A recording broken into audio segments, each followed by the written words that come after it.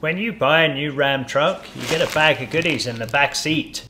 My dealer couldn't tell me what was in here, so let's go on a journey of discovery together and find out what we've got.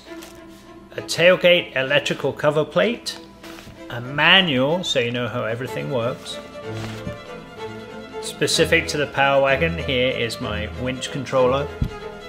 This is the winch hook, a winch rope friction cover, and this thing is the receiver hitch sleeve. So the Ram 2500s come with a two and a half inch receiver hitch and this will bring it down to a two inch receiver hitch so you can use two inch receivers. And that is what's in the bag, ladies and gentlemen.